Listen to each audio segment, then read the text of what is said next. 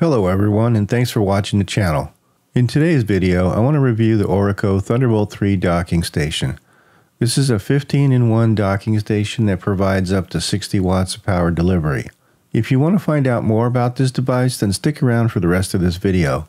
And if you find it useful, please don't forget to like and subscribe as it really does help support the channel.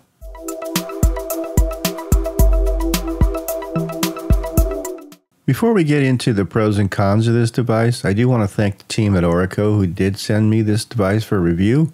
They didn't sponsor or influence this video in any way, but they did provide me the hardware to test.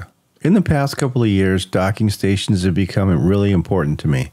Between the need to expand my Windows and Mac laptops and having the need for multiple locations, I started trying different solutions ranging from traditional USB docking stations which didn't perform well enough for me, to Thunderbolt expansion hubs, which worked really well but had other limitations, I finally decided that a Thunderbolt docking station would be my best choice, and since then I've tested several docks. Today I want to cover the Orico 15-in-1 Thunderbolt 3 docking station and put it through its paces. But before we do that, let's have a quick look at the hardware. In the box you get a quick start guide, Thunderbolt cable, and a power supply. Looking at the back of the unit, you get a display port, the host Thunderbolt port that attaches to your computer and is capable of producing 60 watts of power, another Thunderbolt expansion port, a USB 2 port, a SPDIF optical port, a 1 gig Ethernet port, and the power input port. I did want to mention that the Ethernet port is USB based and it does share some of the bandwidth with the USB controller. This is pretty common in several Thunderbolt docks in this price range. The other item I wanted to note is that the marking is actually applied to the label, and once you remove the label, there's no port identifying at all on the unit. For most ports, this isn't really an issue, but I would consider marking the host port on the device yourself, as things won't work correctly if you reverse these Thunderbolt ports. Looking at the front side, you get a headphone jack, an SD and a micro SD card reader, two 10 gig USB C 3.1 Gen 2 ports, one USB A 3.1 Gen 2 port, and two USB A 3.1 Gen 1 ports, as well as another USB 2 Type A. The same issue with the labeling applies to the front panel. Again, not a huge issue, but I did want to point that out. Overall construction is pretty good.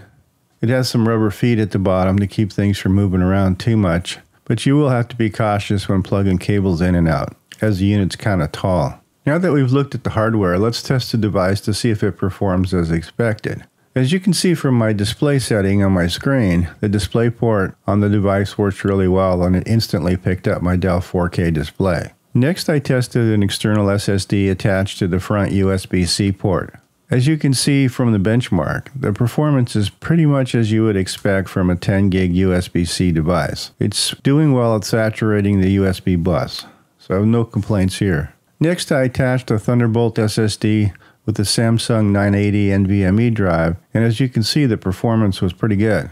I did witness a performance penalty with this drive plugged into the docking station versus being plugged directly into the computer, but the overall performance was still really good.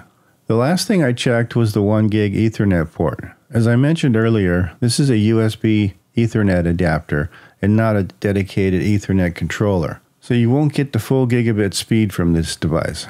In my experience, this design choice is common with docks in this price range. In my testing with the device, though it's slower than what I would like, it performed consistently with no issues. Thunderbolt docking stations are challenging to buy as on paper they all look kind of very similar with pricing varying significantly. The only real thing they have in common is that they all share one 40 gig Thunderbolt connection to the host but each device and manufacturer makes decisions and compromises based on cost and performance. Despite a few minor issues such as lack of port marking and slower Ethernet performance than I would like, this device sits in a nice price performance range. With higher end units costing 300 to $400 and lower end USB C only devices ranging from 40 to $150 depending on features, this offers you a mid range alternative without giving much in the way of performance. Anyway, that's about it for today's video, and I'll leave links to the device in the video description should you want to check it out. Thanks for watching, and I'll see you on the next video.